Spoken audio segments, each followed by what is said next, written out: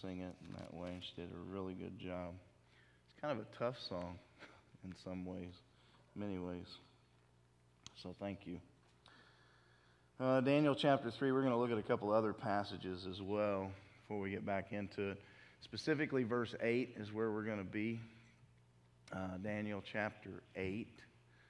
Um, uh, I'm sorry, Daniel chapter 3, verse 8. Let's put it that way. That, that'll fit better. You'll, you'll be right with the message if you look there.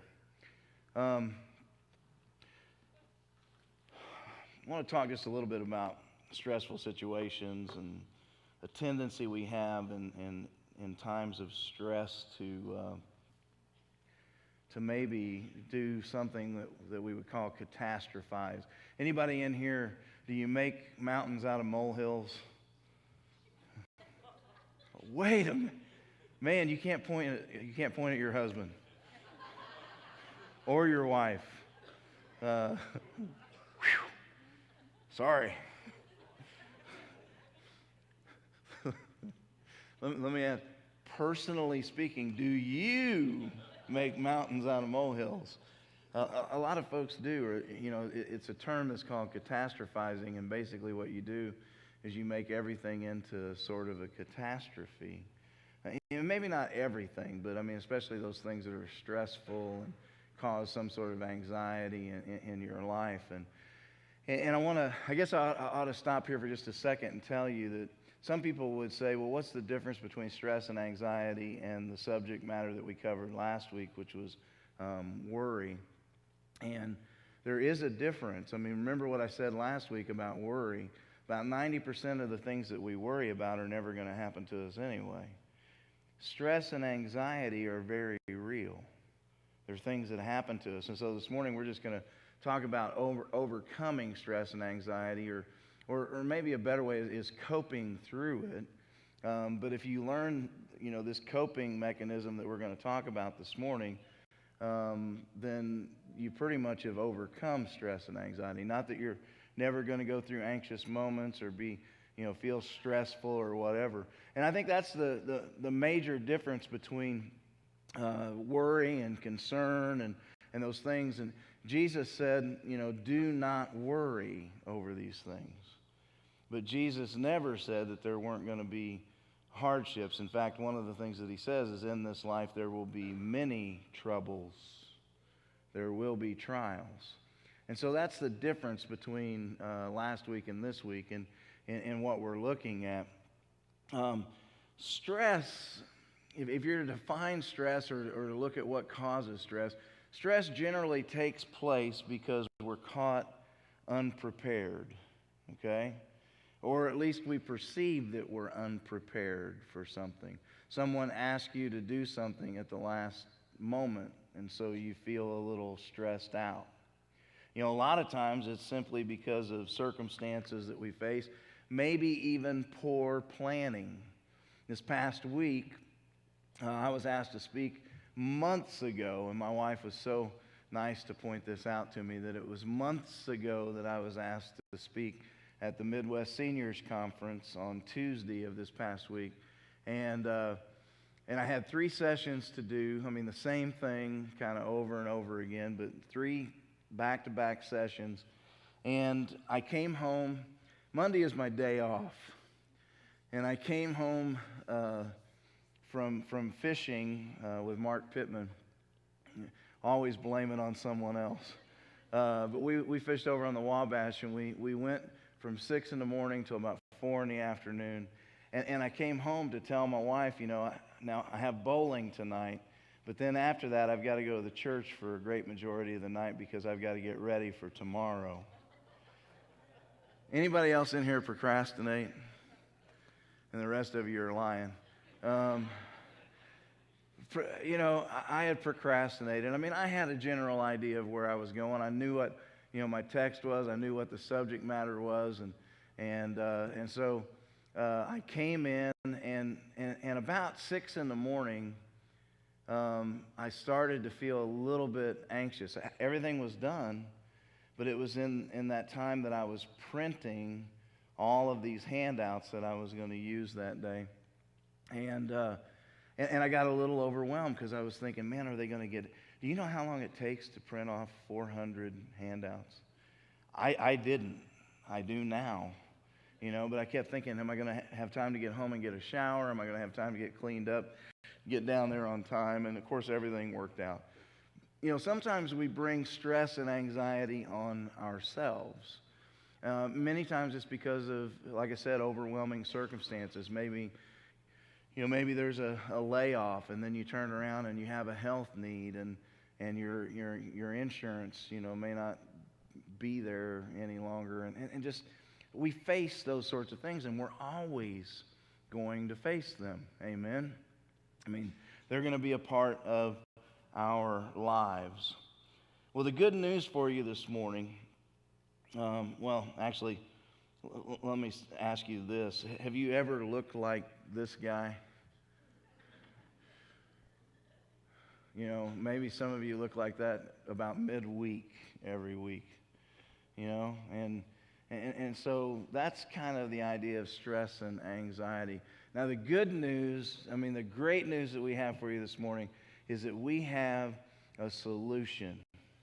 We have a solution to all your stress where you will never be stressed again. And here it is the Stress Reduction Kit. And if you can't read those directions, it says place kit on firm surface. Follow directions and circle of kit. Bang your head here. Repeat step two as necessary or until unconscious. If you're unconscious, then cease stress reduction activity. You know, you ever feel like that? You just want to bang your head against the wall or something.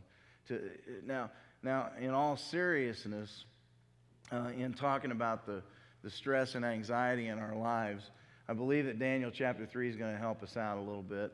Now, before we get to that actual text, I just want to share with you three things. Um, there are actually a total of five uh, keys to, to overcoming stress. And three of them, three of them are just reminders beforehand. Okay?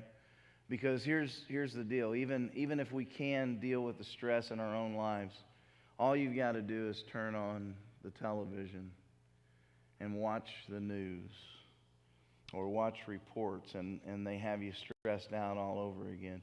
We spent some time talking about this in our Thursday morning Bible study this past week, how in this life, in this culture that we live in, um, it's almost like they want to keep you constantly stirred up. And, and I really believe that they do. Um, our news networks, all of it, they keep you stirred up. I mean, how much good news do you actually hear? Maybe a little blurb at the end of everything. You know, they tell us, I, I, heard, I heard an illustration put like this that most of the people who lived through the Great Depression didn't really realize that they were poor. And the reason they didn't realize they were poor is because everyone else was in the same circumstance. And they didn't have news networks 24 hours a day telling them how bad off they are. That's what we face in our culture today um, people telling us how bad off we are, how, how much better it could be if this, this, and this, or if this particular person is, is voted in. And, and, and honestly, they keep, they keep us stirred up. So if you don't have any stress in your life, go home today, watch CNN or Fox all day long, and, and you'll, by the end of the day, feel pretty stressed because uh, we've got it bad. We've got it bad. Uh, I always wonder whether those news anchors and people who re- make those reports have they ever visited the Dominican Republic or Haiti or India or just any part of the world? Because, in comparison, folks, and I know we don't like hearing this because we're Americans, in comparison, we we are well off. We are set. There is no comparison. And so uh, this morning we're going to we're gonna look at you know, how God can help us overcome this stress and anxiety in our lives. Number one, God is holy and good. God is holy and good. Now, that's one of the things that um, that's one of the things that we were reminded of um, in the song service this morning. Uh, am I preaching okay? Okay. Just wondered. I figure if I sit and listen when other people are up here, maybe it'd be a good idea if people listen while I'm up here. Thanks. God is holy and good. He's not driven by mood. He's not driven by the economy. He's not driven by any of those sorts of things that, that drive us towards stress and anxiety. Um, and, and I think we forget that. I think we forget the fact that He is indeed um, good. His character never changes. Uh, God desires the very best for us. The problem that we face is there's an issue of sin that, that is in the picture in this life. I mean, beforehand, when Adam and Eve were walking with God in the garden, uh, it says that they would walk with him in the cool of the evening and they would discuss things with him, and things were good. And then sin, sin enters the picture and, and it messes everything up. It messes our relationship with him up. It messes the way that we think up. It messes our relationship with one another and our relationship with the earth. And so there are so many things that are just, and forgive me if this offends you, but they're just screwed up because of sin being in the picture. And one of the things is the way that we see him. We tend to think that he's very much like us and he's influenced by, uh, by the news. You know, God is holy and good. Nothing ever catches him by surprise. And his character never, ever changes. In Matthew chapter 7, verses 9 through 11, if you want to turn there, I would invite you to do that. In Matthew 7, 9 through 11, it's a Sermon on the Mount, and Jesus is speaking here, and he's saying to, um, to his, uh, his disciples, those who are, who are there on that hillside listening to him uh, share this message, he says to them in uh, verses 9 through 11 Which of you, if his son asks for bread, will give him a stone? Or if he asks for a fish, will give him a snake? If you then, though you are evil, know how to give good gifts to your children, how much more will your Father in heaven give good gifts to those who ask him? So, in everything, do to others what you would have them to do, for this sums up the law and the prophets. And so, Jesus basically says to the people, you know, which of you, if your son asks for bread, is going to give him a, a, stone? You know, give him a bad gift. Yesterday we were able to celebrate uh, Riker's second birthday. Uh, Brock and Emily and Riker and, and uh, Megan and Robbie are getting ready to go on vacation, and so we celebrated uh, the birthday party a little early. And they gave him this awesome gift. I mean, every child who was there thought it was awesome, including some really big kids, you know, like me and Brian and uh, Brock. But, but it's a train set, okay? It's a, it's a train, that's how, it's, it's a train table, right? And it's kind of made out, it's made out of wood and it has all this, uh, all these, these cars that go on them. They're connected magnetically. And, and, and the, the cool thing was is that Riker from the time that he opened that one, Riker never left that table unless they made him. As people were leaving, Riker, go give him a hug and a kiss. You know, back over here. And, and, and I mean, he just constantly was at that table. Now, here's what Jesus says. If we, and I'm not, you know, when I say this, I certainly don't look at Brock and, and Emily as, as being evil, but what Jesus is saying is in comparison to the Father, you know, who alone is good, if we who are evil are capable of giving good gifts to our children, then how much more does God give us in his goodness and His mercies. And as Kara sang this morning, maybe sometimes even in those moments when we think, when we think that it's not a good thing, maybe God is in, in fact blessing us to protect us from something else. Um, what if His blessings come through raindrops? What if His healing comes through tears? Um, so, God is holy and good, and we either believe that and, and, and understand that about Him, or, or we continue to face stress uh, in an unhealthy way. I mean, this is the basis for overcoming stress and anxiety in your life by understanding that God is holy and good. Secondly, you can believe His promise. You can believe His promise. Now, from time to time, you know, we all, we probably all break our promises. I was just sharing with a, a couple this past week that the importance within a relationship to keep your promise, to let your yes be yes and your no be no, especially for the husband towards his wife. And there's a reason for that. For the female in a marriage, um, one of the things that they hang on to is trust and security. They need security. Um, now, ladies, if if if you're you know if you're on your own, understand that your same need is there for security. My mom raised my brother and myself, and I guarantee that she still wanted us to live in a safe area, to be taken care of, to be provided for. It was still her basic need was to be secure.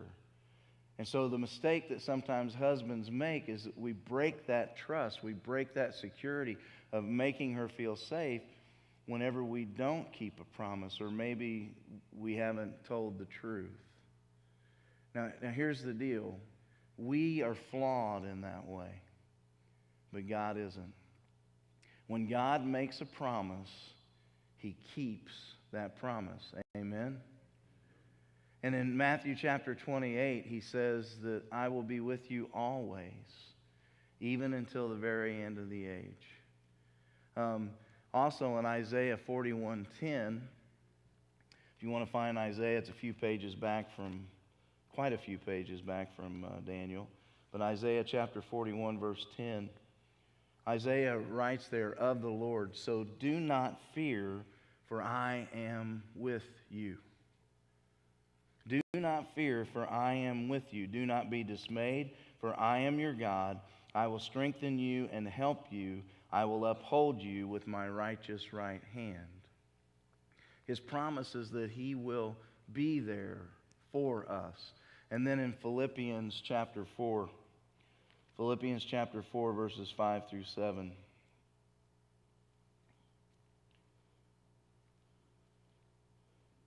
I hear a few pages turning. That's a good thing. Philippians 4, verses 5 through 7. Let your gentleness be evident to all. The Lord is near. Do not be anxious about anything, but in everything by prayer and petition, with thanksgiving, present your requests to God. And the peace of God, which transcends all understanding, will guard your hearts and your minds in Christ Jesus. And so Paul writes there and says, Don't you know, let your gentleness be evident to all. The Lord is near. His promises that He is with us, He is near us, He, he carries us through uh, uh, uh, difficult times. I think of the 23rd Psalm that even though I walk through the valley of the shadow of death, I will fear no evil because you are with me. So, so believe that promise. God never leaves us, nor does he forsake us. And I know that what happens is that there's the tendency to, to think that God leaves, to doubt him. And Kara, again, in the song, um, uh, Laura, I can't even think of her last name, Story. Laura's story captures that so well that sometimes we doubt him. Sometimes we feel like he's not there with us, but he is because he's promised to never leave us nor forsake us. So know that God is holy and good. Believe his promise. Third, stop fighting for control.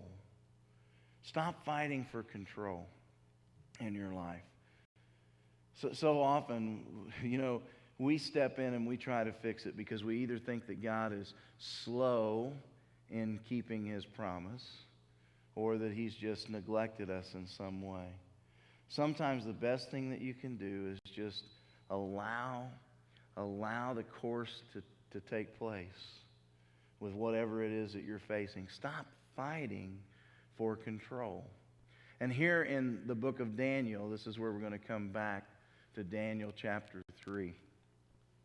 Daniel chapter 3, verse 8.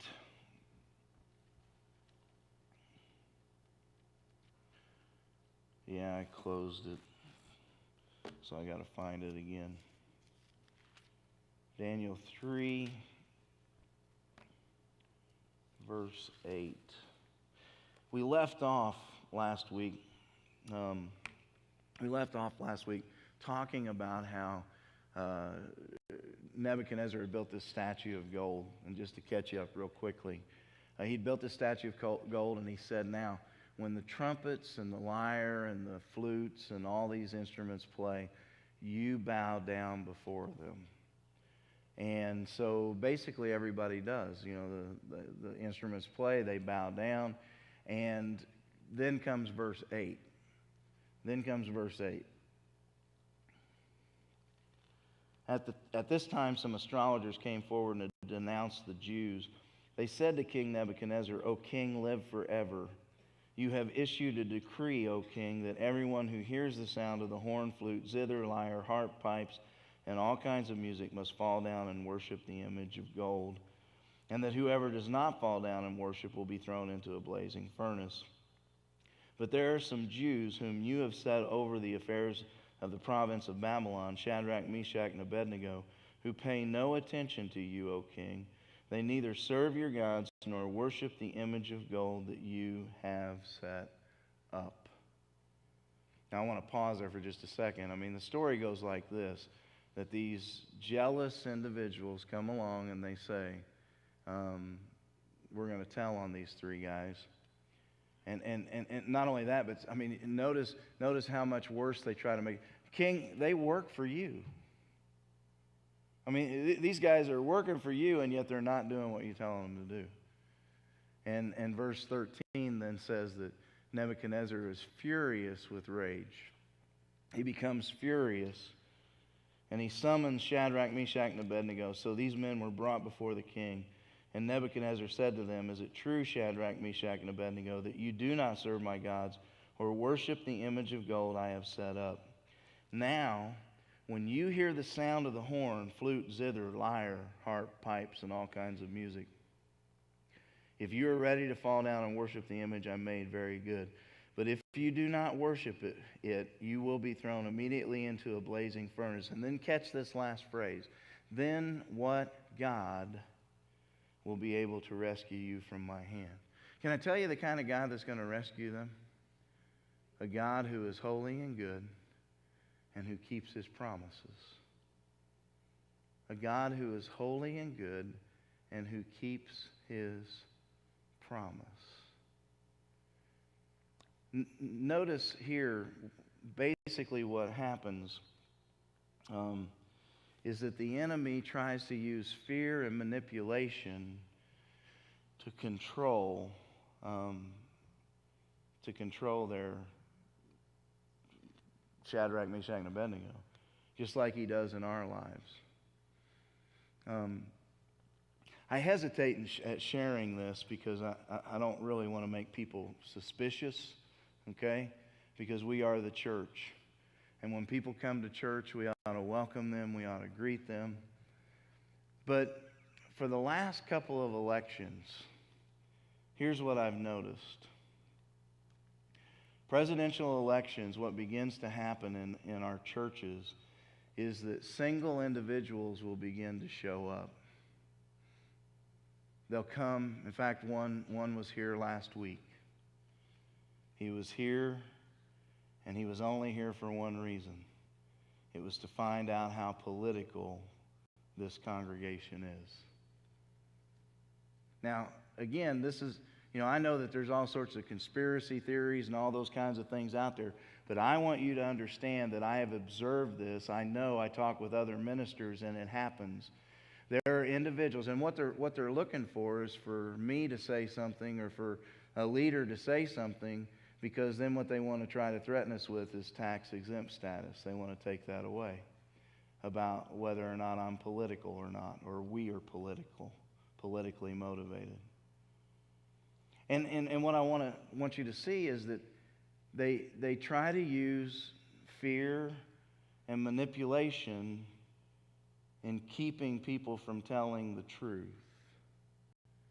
And honestly, it's, it's not going to work here. You know, first of all, I don't tend, I, I really tend not to be politically motivated at all. Am I going to talk about issues? And you've heard me say this before. When I talk about the gay and lesbian issue, the same sex relationship, there, there's a reason that I'm against that. It's because the Bible says that it is wrong and it's sin. And I will have no one in this nation dictate to me what I call sin or what the Bible calls sin. And if that causes us to get in trouble with whoever it is that is coming in here, then we'll get in trouble. You know, I'm going to talk about the abortion issue. I'm going to talk about the care for uh, the poor. And honestly, how poor a job our government is doing in caring for the poor. That's not care for them when you just simply let them sit on their butts all the time and, and never, ever uh, and never ever call them to any sort of sense of responsibility. That's not care, that's careless. And so I'm going to talk about those sorts of things. And, and, and so I'm not going to be intimidated by anyone uh, when the scriptures speak very soundly on those issues. How do they speak soundly? Second Thessalonians, if you do not work, you do not eat. How clear is that? In the Old Testament, they had a welfare system for the Jewish people. Yes, they did. But what it meant was that there were crops that were left behind so that those people could get up and go out and gather for themselves. Get up off the couch and do something. Um, I'm always going to, to, to speak on those issues and about those issues. And no government and no agency is, is going to intimidate me. Now, here again, I want to say this again. Just because you see a single individual come in and you don't know them, okay? Uh, we are to welcome. We are to welcome them. And, and I will indeed uh, be there to, to welcome them as well. But, but know that that's the kind of society that we're living in right now, where they're so afraid that, that we're trying to, to influence some outcome instead of understanding that we are speaking against very real issues or about very real issues, and that our responsibility then is to pray for whoever is in the leadership and to uh, support them through prayer, to support them in, in, in that manner. And, and, and so it's not, a, it's not so much an issue about control because the enemy tries to use that sort of fear and manipulation to keep us under, under their thumb. And that's exactly what Nebuchadnezzar does here. He says to Shadrach, Meshach, and Abednego, listen, I'm going to give you another chance. When the, when the music plays, then you bow down. And if you don't, then I'm going to throw you in the fiery furnace. And what God can save you then? What God is it who can save you? Now, I love I love verses 16 through 18. Shadrach, Meshach, and Abednego replied to the king, O Nebuchadnezzar, we do not need to defend ourselves before you in this matter. If we are thrown into the blazing furnace, the God we serve is able to save us from it, and he will rescue us from your hand, O king. But even if he does not, we want you to know, O king, that we will not serve your gods or worship the image of gold that you have set up. And so basically, they give control over to the Father. See, no matter how much we think we are in control, ultimately we have none. Ultimately, we have none. I mean, you can have all the plans that you want about your future, and you're really not in control. To me, this is a reminder of all of you who have day planners and, and calendars that are color coded, um, how worthless they really are. Um, I mean, don't take me wrong on that because I know that there are people who are planners and that sort of thing, and, and, and that's what kind of keeps you going and, and drives you. But you know what? Ultimately, you have no control. It's kind of like remember the story in the New Testament the guy who says, I'm going to build bigger barns, bigger storehouses. And God comes and says, You fool. This very night your life is required, and what good is that barn going to do you? Now, Jesus isn't teaching that we shouldn't plan for the future. What he's teaching is that we trust in God for our future. And so we plan things, you know, we, we build things, we work through things, but ultimately we understand that he is in control. And that's what Shadrach, Meshach, and Abednego do. They say, Oh, king, here's the deal. You can throw us into that furnace. We're not going to bow down to the music, and you can throw us in there, and here's what will happen God will either save us or he won't. But we will be faithful to him. He will either rescue us from the furnace or he won't, but we still will not bow. And the only way that that can happen in our lives is when we stop fighting for control. I remember the story of Cassie Bernall, and many of you do as well, at Columbine. She had much the same attitude when they came to her and they asked her, Are you a believer in Jesus Christ? And she said, Yes. In fact, there's a book by that same title. She said, Yes. And you know what? God, God could have delivered her. He could have. But he didn't in that moment. And sometimes I wonder if the reason that he doesn't is for the rest of us. Now let that sink in for just a second. Maybe the reason that Cassie was martyred, and make no mistake, she is a martyr. Maybe the reason that Cassie died that day was for us, to strengthen us, to look at the faith of a young lady who was not afraid to say, God, I'm going to give you control here, and I'm going to trust you. And she said, Yes. You know, every story would be wonderful if it ended like Shadrach, Meshach, and Abednego's story. Or, or if they ended like Tangled, you know. I'm very familiar with the movie Tangled. Riker and I watch it often. And I have to confess that at the end, sometimes whenever he falls asleep or Brock and Emily come and get him, I go ahead and watch the end of it anyway. because it's one of those stories. It's just one of those stories that ends well. They, they lived happily ever after. And it would be wonderful. Now, I mean, here's the deal. In, in, in the end, when Jesus returns, that, that part is going to come true. We will live happily forever with Him. But it requires that we stop fighting for control here and that we learn to trust Him. Number four, open your eyes. Open your eyes. Um, I've already stated this, but when you're going through trial and stress, sometimes it's hard to see that God is there with you, right? I mean, would you all agree with that? It's very hard to see that He's there with you. But we just have to open our eyes. I mean, part of opening our eyes is going back and knowing that in the past, He's kept His promise. In the past, here's my experience with, with God.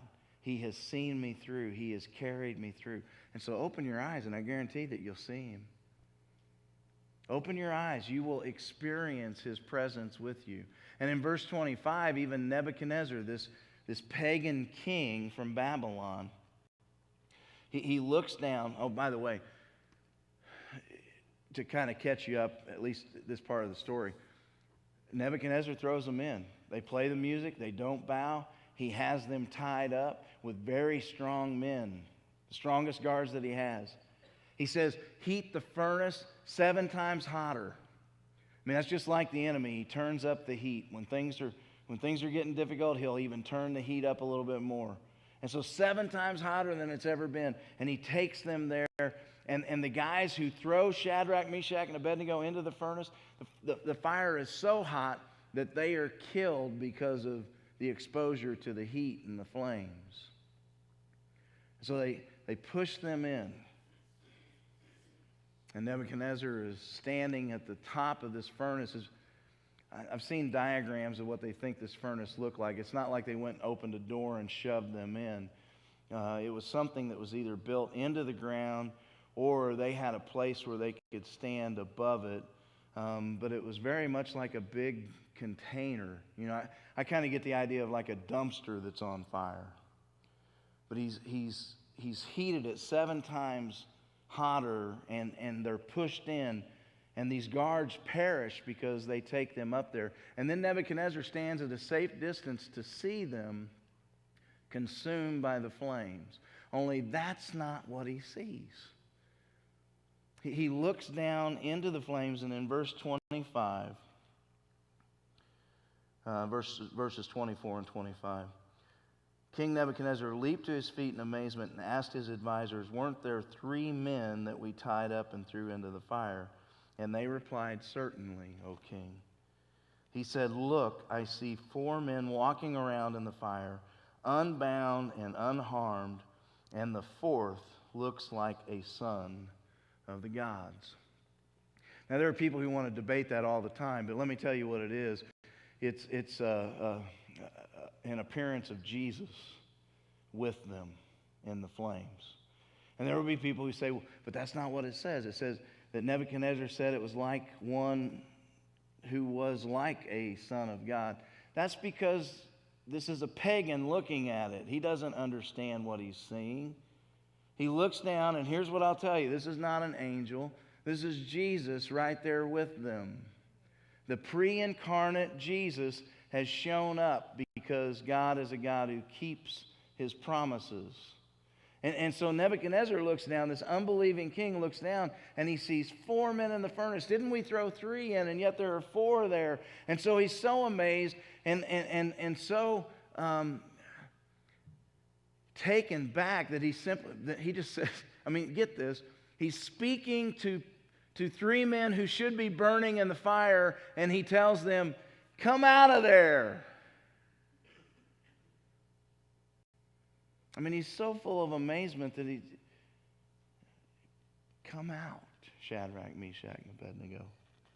And so they do. They come, they come out of the fire. Now, evidently, through a door, maybe someone, I, I have no idea how, how they actually get out of this furnace, but, but they come out of the flames. Listen, when, when we are in the midst of trial and, and difficult circumstances, when we are stressed and we are anxious, open your eyes because you will see the presence of God. You will see his mighty hand at work.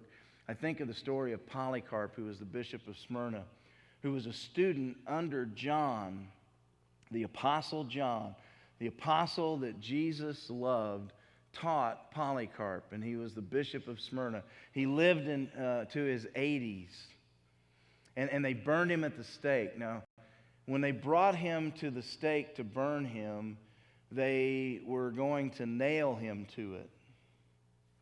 And he said, You don't need to do that. You don't need to nail me here. I will stay right here at the stake. And so they said, Well, we won't nail you to it, but we're going to tie your hands to the stake. And, and Polycarp is famous for this, for this statement. Um, not word for word, just kind of a paraphrase of what he said. He said, 86 years or 87 years, my Lord and my Savior has served me well in this life and he will serve me and provide for me at this stake. And it said that as he stood there, with the flames coming up around him, that he prayed and he sang unto God because he understood with his eyes wide open that God was there and he was present with him. And so he, he, he, he sang as he was being burned at the stake by the Roman guards and soldiers. Well, then finally, number five, embrace freedom. Embrace freedom. Look, at the last part of verse 26. We'll, we'll read the whole verse, but it says that Nebuchadnezzar then approached the opening of the blazing furnace and shouted, Shadrach, Meshach, and Abednego, servants of the Most High God, come out, come here. So Shadrach, Meshach, and Abednego came out of the fire. Embrace your freedom.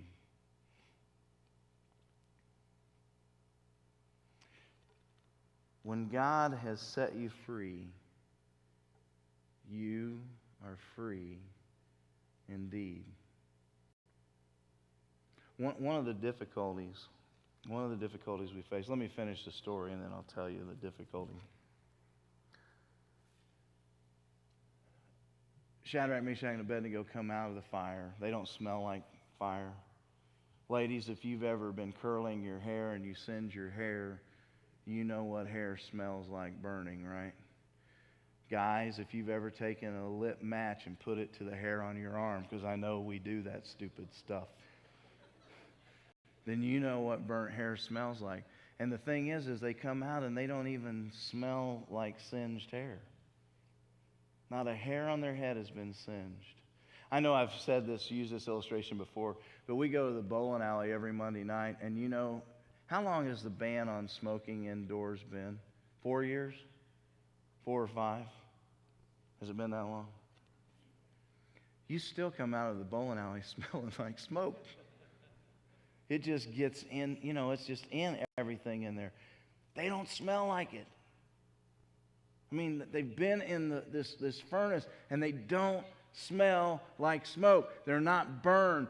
There's no charred uh, places on their clothing. And, and, and, and they come out.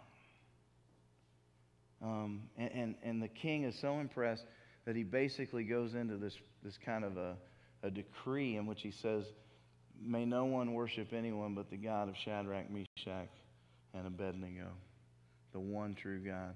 He is greatly impressed with what's just happened.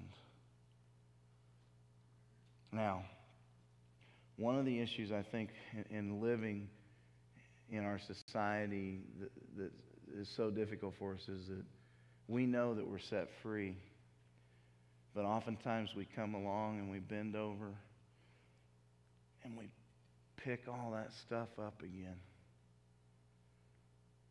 You know, I was in our Bible study, we were discussing this. You know, what happens when you don't feel like, you know, you're really forgiven? And I bet there's not a person in here who doesn't go through that from time to time.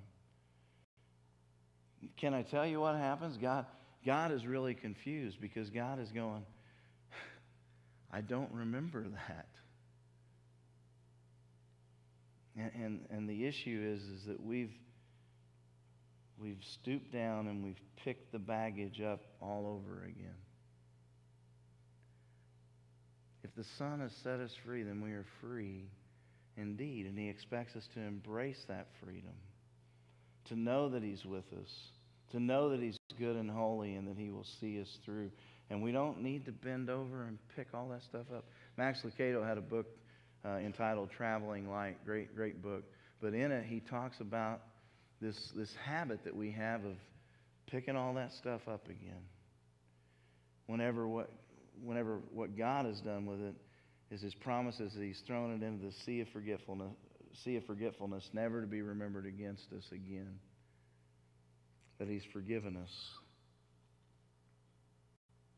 There's one last aspect of this passage that I want you to catch, and and, and I'm certainly not smart enough to, to come up with this. uh, I was listening to a preacher, Perry Noble, and, and I listened to what he said about this. Have, have you ever really thought about that what happens is in the story, three men are thrown into the fire, but in the midst of the flames, in the midst of the struggle, in the midst of the trial, there are four men present. And one of them is our Lord. And when they're rescued, when they're called out, three men come out. No, Noble says, Is it possible that what Jesus does is that he stays in the flames, he stays in the fire, he stays in the trial? Now, don't take it literally, but more symbolically. And you know why he stays there? For us. Because the next time we're facing hardship, the next time we're facing stress, his promise is, I'm there with you. I will always be there with you. Um, that's the promise that, that God makes. God's promise is that he will always be there to take us through the fire. So listen, listen to this song as we close the service.